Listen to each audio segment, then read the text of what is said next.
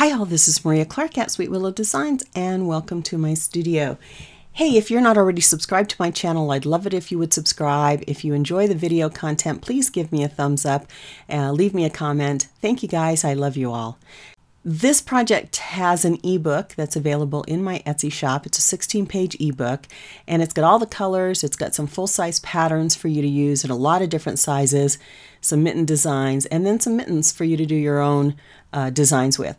We'll use an 8 by 8 canvas panel and for the paint I'll be using the DecoArt Americana in Gray Sky, Baby Blue, Ultra Blue Deep, and White. I'll also be using the Duraclear matte varnish and I will be using a number two flat brush. Uh, this is to fill in the mittens. I'll be using an eraser cap. I'll be using my Brophy screwdriver set, which is completely optional, of course. And I'll be using my regular Crystalite crochet hooks and a pair, a set of nail dotters. So for the background, I've got my 8x8 panel and I have coated it with several coats of the gray sky. And then I'm going to be using a sponge technique. So I have a, a natural sponge here. I'll be using the baby blue and the gray sky and I'm going to mix the colors together to get a slightly bluer tone for the sponged effect. Now I want this to be really, really subtle, so I'm not going for a big change in the color, but just enough to give me a little background. So I'll mix up some of that paint and then I will start to be able to use my sponging technique. The natural sponges give you a really kind of rough sponge texture, but use a lot of different tools that you might have. Even a regular sponge um, would be great. And I'll just go ahead and lightly sponge that on, kind of focusing on the outside. I'll do a little bit in the center, but not a whole lot. I'll just want to get a little bit of color on, um, on this canvas.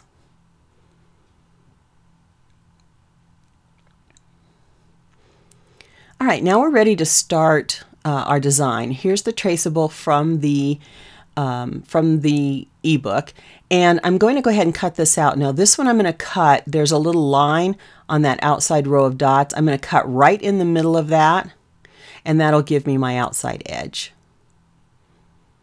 You can decide how you want to line this up. There's lots of options here. There are eight mittens and you can you can kind of uh, make some choices as to how you want to line them up to your canvas. We're going to fold this in quarters so I can find the center and cut that out. I'll just snip off the center there and that'll help me with my placement. Using a ruler, I will find the center of the canvas, and this is just to help me line this up. Those light, those uh, marks are kind of light because it's a light background, but I think uh, you might be able to get a good sense of it. I'm basically going to use that to line my uh, pattern up. A little bit of tape once I get it lined up.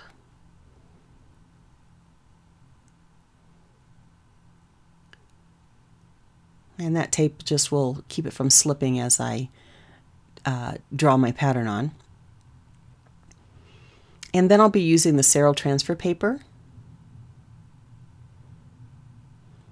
I've used that piece of transfer paper quite a few times, so you get good use out of them and I'll just slip that under. Now, on this particular pattern, I'm mostly drawing the grid. I'm not going to draw every single one of those dots. I am going to draw the center, and then I'm going to draw the circles where I want those dots to be, and that'll give me good placement. And then I'll also draw the lines uh, for the grid and my mittens. And the rest of it, I think I can follow along with the pattern easily enough that I don't need to draw every single one of these. I will draw these placement of those little um, oval dots. Now using my number two flat and the color Ultra Blue Deep. Now this is a very dark um, paint. The dots actually are dark. The mittens were perfect. I mean, the, the color I just loved. The dots I thought were a little bit dark, so I might consider, um, you know, a different color of blue, but you really do want a high contrast. So I'm using my number two flat to just fill in these mittens. and uh, the flat brush gives me a nice edge so it's it's easy to make and fill in these mittens. I am gonna not I'm not gonna put multiple coats on here because I kind of liked the sort of variegated look of the paint with one coat. Um, it kind of looked had the sort of the texture, the knitted texture, so I kind of like that a, a, quite a lot. And I'm going to dot right on top of this, so uh, it's giving me just a little bit of a background color. See how that's a little bit mottled? I really like that look. It gives a lot of good texture.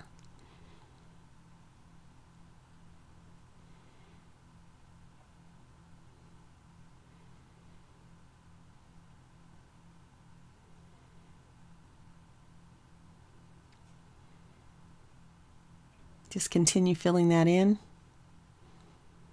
This would be fun and lots of different, if you had all the mittens different colors, that would be really fun. Okay, we'll just do one more and then we'll do that all the way around for each of the eight mittens in this, in this design. It has been snowing here in Colorado, so um, our Piper, our four-year-old granddaughter, has her mittens out, and it's always such a fun time to be able to get your mittens and your heavy jacket and go play in the snow. Okay, all eight mittens are done, and now I am ready to start painting. I'm using the pattern.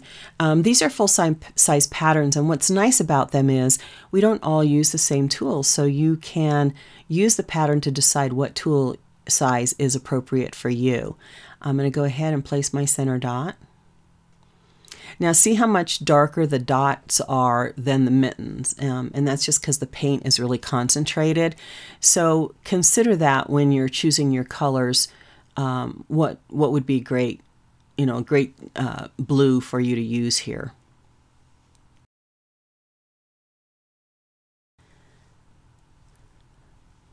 For the center, I use my G6 4 millimeter and then a set of nail dotters. For the next ring, I use the G6 4 millimeter. And now I am using the pencil cap eraser to make my oval dots. Now, one thing I wanted to mention about the pencil cap, it's like any other tool, you know, they have to be cleaned off or your, your dots are not quite what you're expecting. Um, so I actually, I started with one that, uh, pencil cap eraser that I've been using, and you can see that I'm not liking exactly how some of those dots are coming out. So I'm actually going to trade that out and put a fresh eraser cap on there so I can get a little bit nicer oval.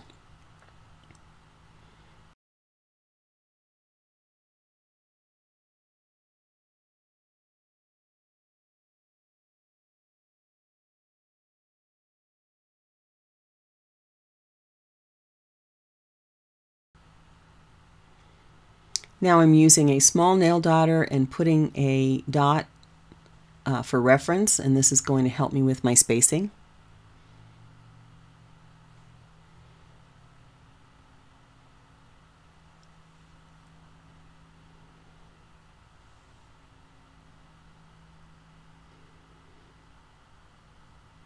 I'm going to select the tool size that's best. I'm keeping it a little bit smaller than the actual dot that's on the pattern because the um, paint spreads. So now I'm using my K 10.5, 6.5 and placing a row on that line.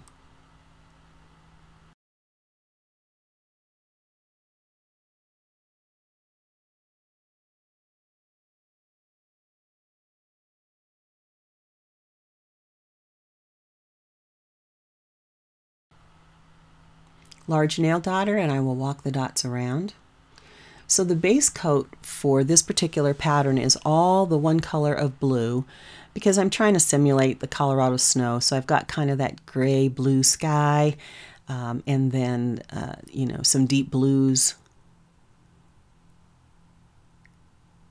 Hopefully that gives you the sense of snow. All right, another little reference dot.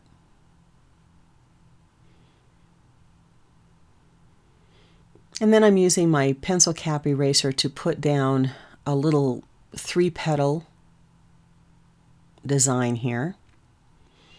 Now this is with the fresh eraser cap. Doesn't that look better? And I've done that all the way around.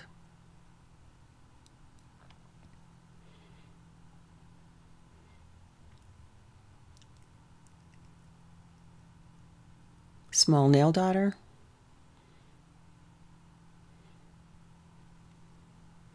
My G6 4 millimeter for a larger dot here. And then my large nail dotter.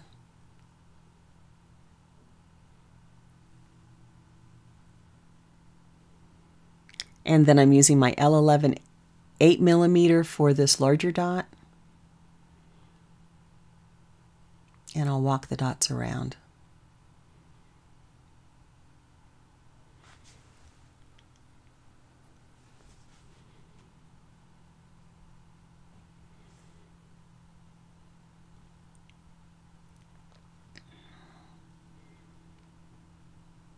And I've done that all the way around. Now there's a little change up in the pattern on the sequence here.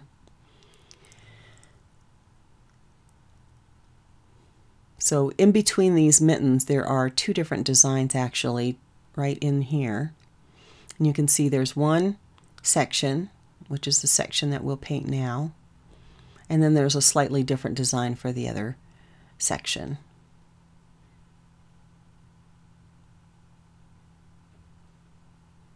Large nail dotter and a reference dot.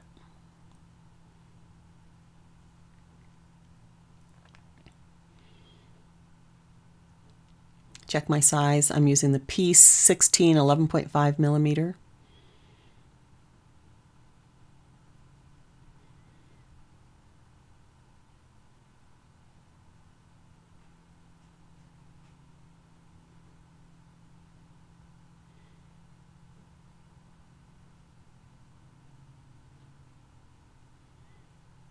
And then my G6 4 millimeter for a large top center dot there. And then I'll use my large nail dotter to walk the dots around.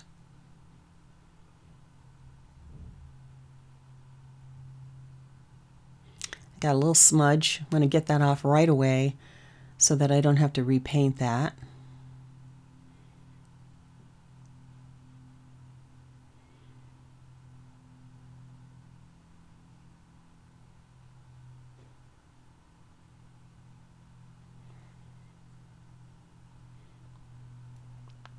And then I'll use a small nail dotter to put a crown at the top. Okay, for the second sequence, um, I walk the dots up. You can see there. I just used a large nail dotter and walked my dots straight up. Um, straight up on the line that I'd placed. Now I'm going to place a ring around the outside.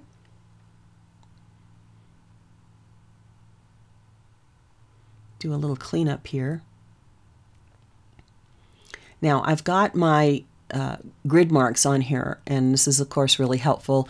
Those of you that are new to dotting, I find making the actual ring like this to be one of the more difficult tasks. So I like to have some guidelines. I can then, you know, put my outside marks, cut it in half, and then a half again, or as many times as you feel like you need, you would like to to get the number of dots you want. Um, but it's helpful to have this guide here. Um, I am going to go back in and place a small dot in between, so I want a little bit of space here. And I will do that all the way around. This is a really fun, whimsical type pattern. I really uh, had so much fun putting the little mittens on there. That was really fun. All right, I've dotted all the way around the outside edge. And now I'm going to go back in with a small nail dotter and just drop a little bit of blue in between those dots.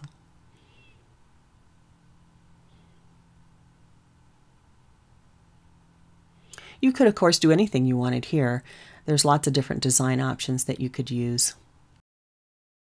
Okay, now I have um, let this dry and I'm ready to go in. I'm using my Brophy screwdriver set for some of the dots here. Um, they make a nice oval dot and a smaller size. These are optional. You know, don't don't um, if you don't have them, that's that's fine. Don't worry about it. uh, just use a regular size dots, or maybe you have something around the house that would work for you. So now I'm going to start to do the designs on these mittens. And I'm going to have four different designs, so I'm going to repeat each design twice. And um, that'll give me uh, sort of a nice uh, symmetry. You can do uh, dots the same pattern on all of them that would look really really nice or you could do different pattern on each one it's really up to you what you think you'd like to do um, they're in the in the um, ebook there are the patterns that I used for these they're they're a little bit larger size so you can see them a little bit better but you could let your creativity flow here and just do any kind of design you wanted to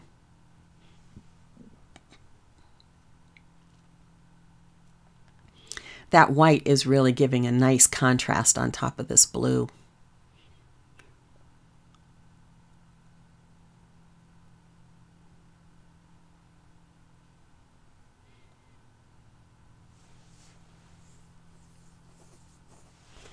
Didn't like that so much.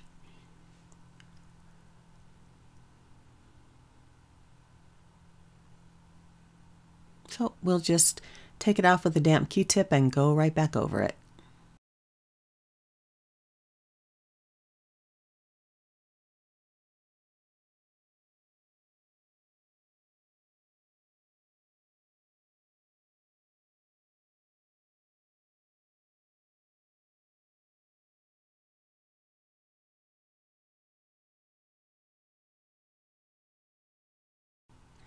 This is the third Colorado snow design that I've done. I did a couple last year, and um, I've got at least a couple more that I want to do this year. I'm thinking of doing one in the Frozen colors for the movie Frozen. That purple and that blue is so pretty, so I think I'll, I'll do something in that.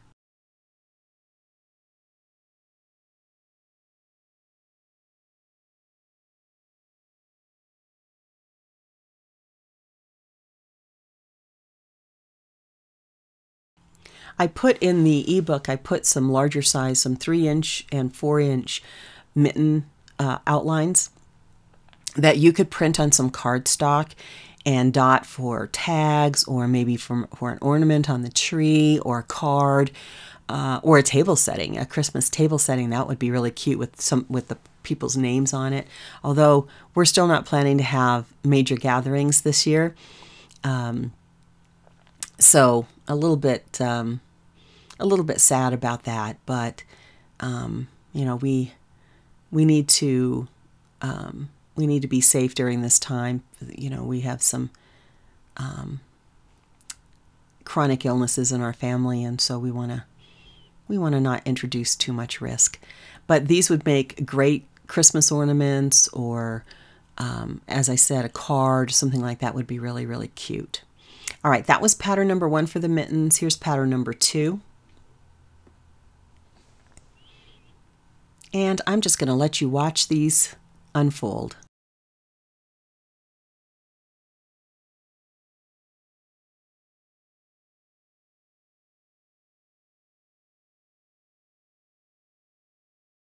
On this one, I'm just going to draw a line up the center because I'm going to use those little ropey screwdrivers to, um, this is the smallest one in the set, to make sort of like a, a cable knit design.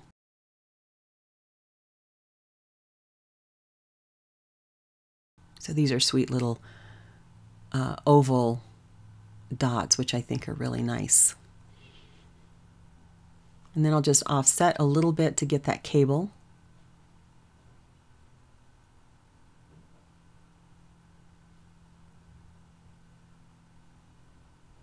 Isn't that neat? I love the way that looks.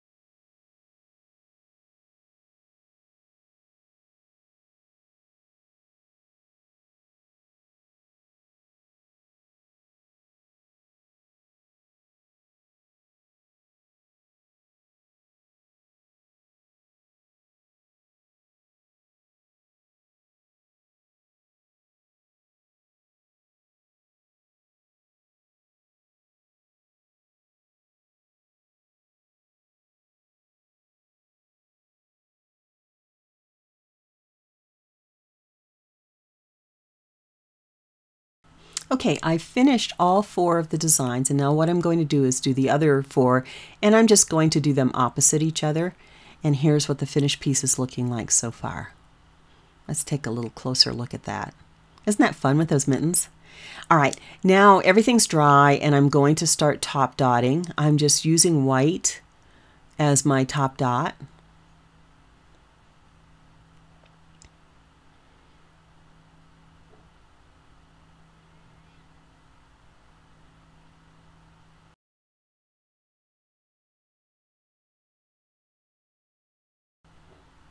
Very small nail dotter to get the uh, white on these teeny little dots.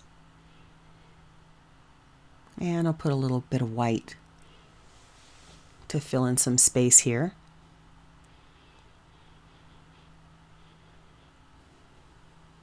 Now I'm using the little Brophy screwdriver to put a little oval dot on those pencil eraser cap dots that I put down. And that's a nice compliment. They complement each other very, very nicely. All right, I've done all of my top dotting. Now I'm going to let that dry and then I'm going to start with my next layer of top dots. So that's all dry. I've got another layer of top dots, couple layers actually. So before I frame this, I've let this, of course, dry really, really well, and I've got three coats of the uh, matte, the Duraclear matte varnish on it, and that matte has a slight little bit of sheen, and it's just enough for me. And I've got this really inexpensive frame from the Dollar Tree, and I'm going to try something out. Now, you know I like the mixed media, so I'm going to try a little bit something here, and uh, you guys let me know what you think, uh, and I'll tell you how, how I how I felt about it in the end. So this is an inexpensive frame. Let's get this opened up here. It does have a glass in it, which is nice. So you can put that aside if you want to use it for a different project. I just stick it back in there to give a little more stability. What's uh, good about this one, I want to just let you know, this it's got a little mat there, but it's also got this little foam uh, frame here that is really good for you to keep um, in case you want to put a little spacer and put your painting behind glass. You need a spacer in there, so that would be fun. I'll show you that at some point. Okay, so here's the frame, kind of basic, simple frame. I like it. I think that looks nice. But I thought I found these little snowflakes, uh, and they come in, I think there's like five or six different sizes of these snowflakes. And I thought what I would do is put them on the frame corners and see how I thought that might look because I, I thought the idea of snowflakes would be really fun. So I'm just going to play around with this and uh, try out some different design ideas and then I can just glue them down. I can actually dot on them. These are little buttons so they have the two holes. I'll need to fill those holes in. I usually just fill them in with a little bit of glue or something and let them dry and then dot right on top of them. So I'm just uh, trying out some different designs here to see what I think about that. I do like that. Um, I'm going to try some more here. Okay, now I'm just getting silly. That's too much. so maybe a little bit on these opposite corners. Let's see what we think about that. I like that. I think that would be nice.